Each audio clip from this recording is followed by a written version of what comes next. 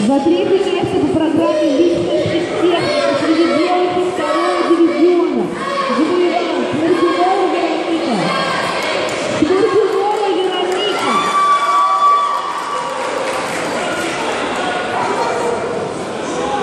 Смурзунова